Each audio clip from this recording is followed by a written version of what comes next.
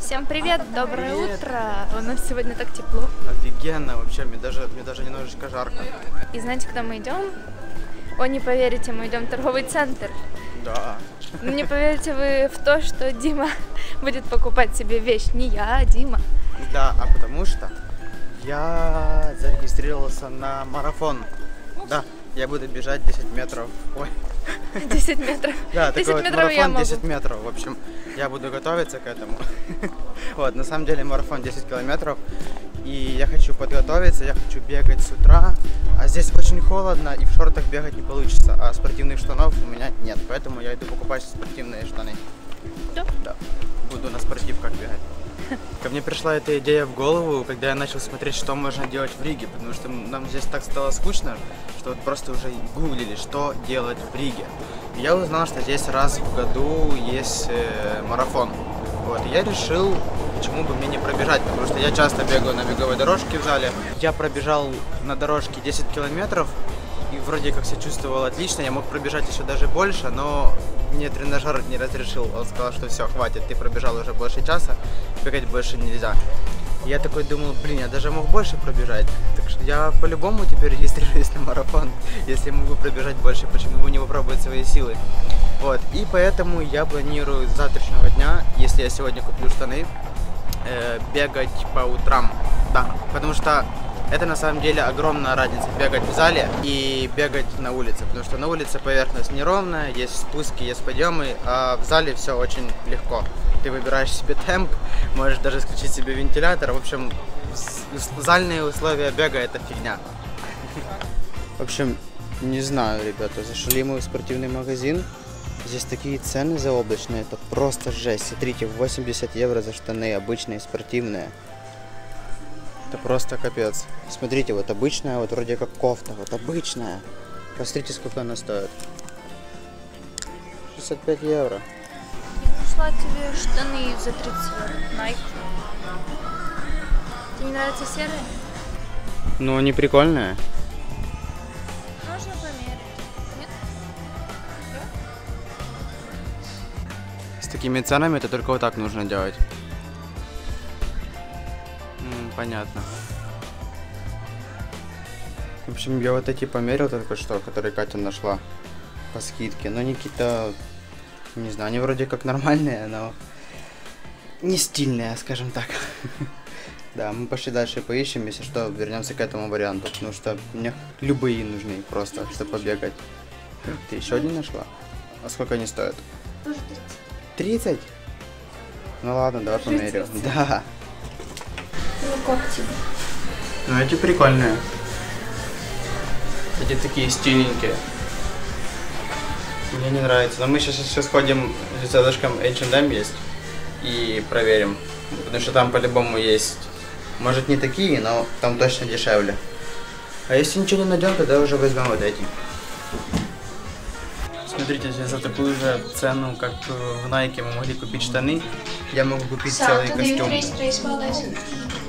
Да. И я, наверное, скорее всего его возьму. Правда, я не знаю, такого цвета штаны брать. Либо синего. Сейчас я померю синий и посмотрим. Слушайте, а синие оказалось, оказались вообще другой модели. Вот, они немного поуже, и мне в них как-то покомфортнее. И они клево контрастируют с э, красной кофтой. Наверное, я возьму их. Они столько же стоят, да? Сколько они? 20? Да. Беру вот эту. Ну, и плюс еще кофточку. Я теперь еще больше люблю шведов. Спасибо. А, думали, у нас закончился шопинг? Нет, нет. Мы приехали в супермаркет. И сейчас мы будем покупать что? Продукты. Продукты.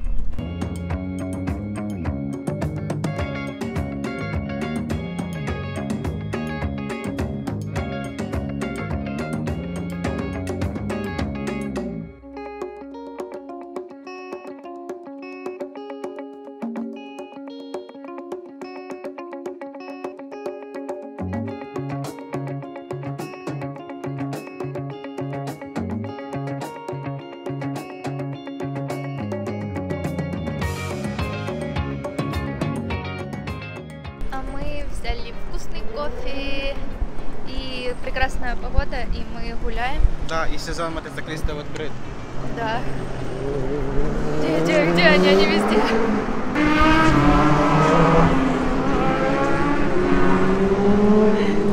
А еще с нами есть Стас, который прячется от камер.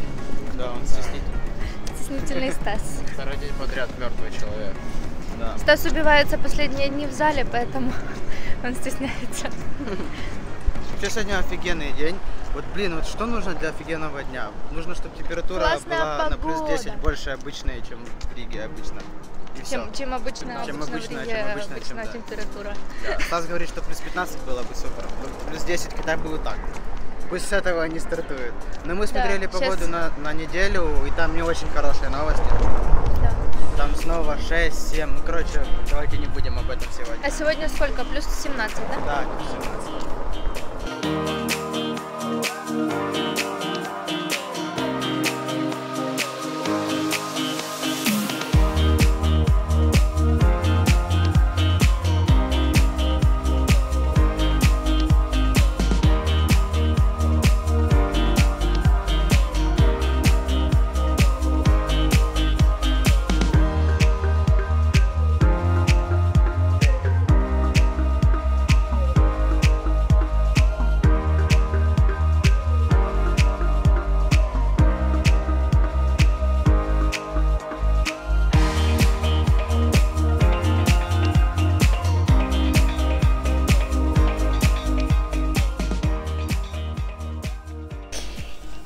я снова на моей любимой кухне, и сегодня мы будем готовить карбонару.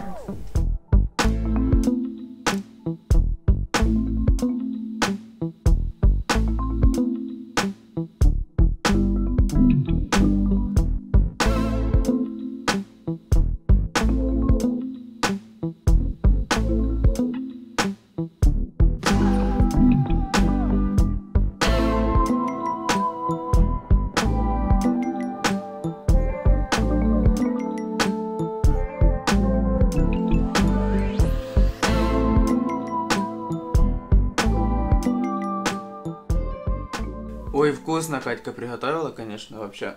Хотя в нашей Хотя семье, переел, да? в нашей семье я главный карбо- Кар- карбонист. Карбонарист. Да, я, я готовлю, конечно, вкуснее, чем Катя. А я, я думаю, что... Знаешь, почему вкуснее? Знаете, почему вкуснее? Потому что Катя перепутала и вместо сливок купила сметану. Надо было сам покупать. Ага. А буквально, буквально месяц назад, или даже немножечко раньше, она смеялась с португалок, потому что они вместо йогурта купили сметану. А сама также почти купила. Мгм. Вот. В общем, на этой сытой ноте мы будем э, с вами прощаться, будем ложиться спать, потому что мне завтра вставать... Ой, я еще не придумал, сколько вставать, в 6 или пол седьмого, потому что я буду бегать с завтрашнего дня. Я Так купил спортивный костюм. 10.